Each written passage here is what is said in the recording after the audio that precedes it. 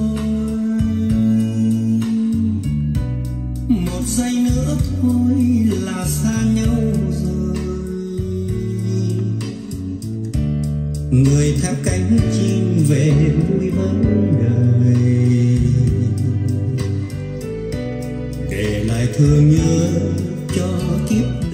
Rồi, chào quý vị và các bạn. Ngắn gọn thôi, con ly này hoạt động hoàn hảo.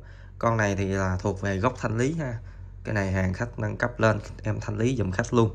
Thì à, con này giá thị trường nó tầm là 3 triệu 2 triệu rưỡi tùy vào nơi bán và tùy vào tình trạng đẹp xấu. Thì con này là thanh lý giá 1 triệu thì em chỉ một số cái à, điểm cần lưu ý để quý vị và các bạn theo dõi cũng ngắn gọn thôi quý vị vài phút thôi. Mấy con này nói chung này à, cũng không có mặn mà gì lắm nhưng mà thanh lý thôi quý vị.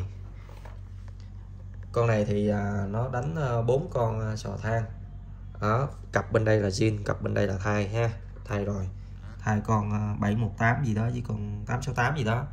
Là mấy con sò mới. Còn bên đây là hai cái cặp SK zin này ha. Cái cặp ờ, 1491 với ờ, 3855 này thì thật ra thì trên thị trường nó vẫn có bán nha quý vị. Thay đúng zin luôn nhưng mà em cũng không không có thời gian làm việc đó đâu. Thì anh chị em về thì tự làm ha. Onkyo A812X nè phía sau nó có hơi hoen chút, nhưng mà mạch bên trong thì nó còn rất là mới, rất là đẹp luôn nha quý vị. Đó, rất là mới, rất là đẹp luôn ha.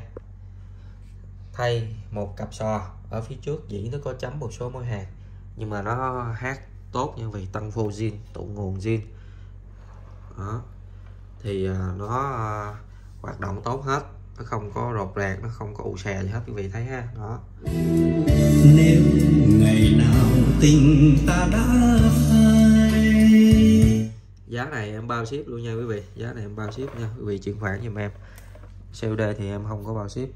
Đó. Nói chung là hoạt động tốt hết. Rồi, em xin kết thúc video tại đây. Góc thanh lý nha quý vị. Rồi, em đã chỉ rõ những cái điểm cần lưu ý thì quý vị và các bạn ờ, muốn ờ, sở hữu em đó thì ờ, xem lại kỹ tí xíu. Rồi, em xin kết thúc video tại đây. Xin cảm ơn.